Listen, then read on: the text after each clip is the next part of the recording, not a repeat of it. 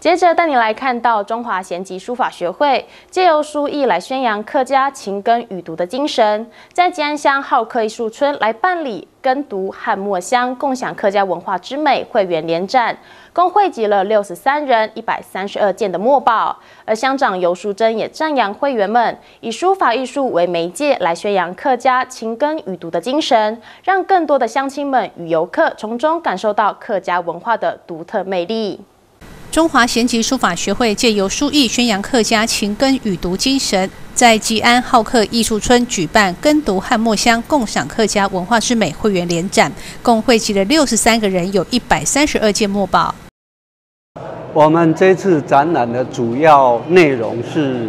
客家文化的贤文跟主要的谚语。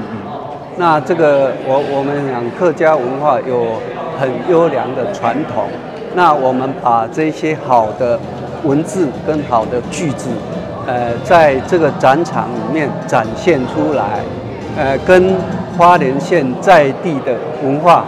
可以互相结合。那呃，我们希望透过这次的呃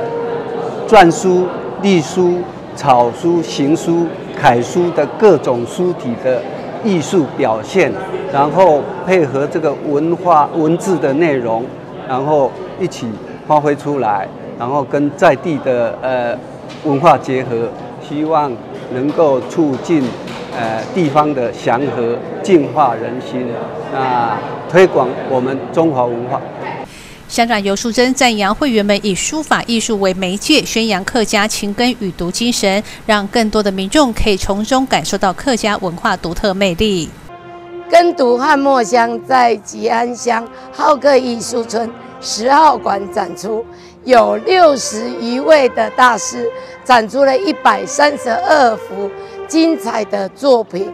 精彩预期可见，大家不要错过。展期至九月二十六号止，希望大家带来全国各县市的艺术家来到了好客艺术村，展出精彩的全国的特展。也希望所有吉安乡花莲县的好朋友们别错过了吉安乡好客艺术村，等着大家一起来共赏最优质的书画特展。